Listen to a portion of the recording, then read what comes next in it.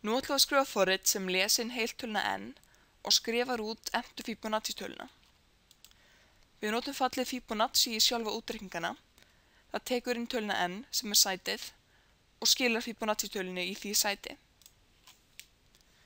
Í fallinu notum við breytunar n1 og n2 til þess að tákna tvær samleikjandi Fibonacci-tölur.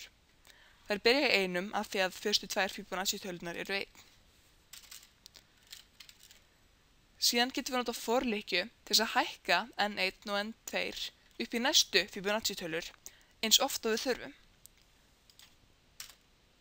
Fyrst skulum við útfæra það sem gerist þegar líkan er keirð. Þá getum við notað breytuna temp til þess að geima gildi á n1. Síðan hækkum við n1 upp í næstu Fibonacci-tölu sem er n1 pluss n2 og síðan fær n2 gildi á temp sem er gamla gildið á enn einum. Síðan er það skilriðið. Nú, ef að n er 1 eða 2, þá þarf þessi likki aldrei að keirast og við getum skilað bara n einum beint. Nú, ef að n er 3, þá þurftir likki að keirast einu sinni. Ef það er 4, þurftir hann að keirast tvísvar og svo framvegis.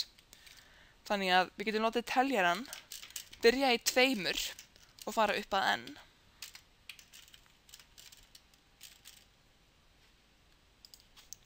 og vendum á því að skila n einum.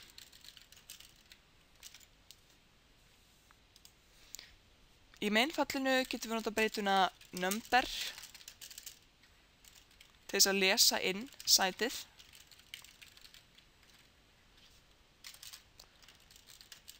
Og síðan skrifum við út Fibonacci-töluna sem að fallið reiknar.